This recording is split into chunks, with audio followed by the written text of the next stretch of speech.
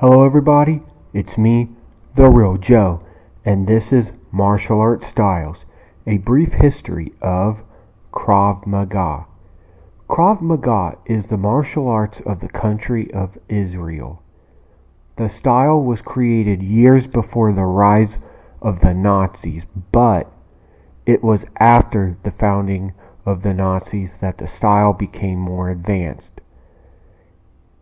Imi Lichtenfeld was a Hungarian-born Israeli who studied martial arts.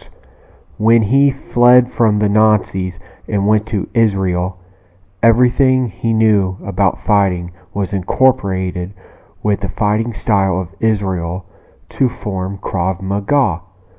Krav Maga was created to help Israel fight off the Nazis if the Nazis invaded them.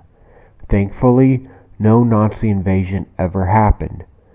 Krav Maga is a hybrid style that consists of wrestling, boxing, karate, judo, and other realistic styles of combat. Some even say that part of the style derives from the ancient and lost Greek martial arts known as pankration. The main weapons of Krav Maga consist of blades and guns. Krav Maga is the official martial arts of Israel in the Israeli Defense Force, also known as the IDF. Whether you are an Israeli born citizen or you move to Israel, by law you must serve in the IDF for two years and gender does not mean a thing. In fact, Israeli women are probably the toughest women on earth as they must train in the harsh art form of Krav Maga for two years while serving.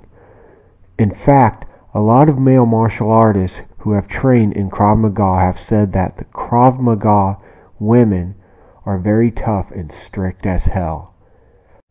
Gal Gadot, who is a famous actress and plays Wonder Woman in the live action DC universe, was in fact a soldier in the IDF and trained in Krav Maga.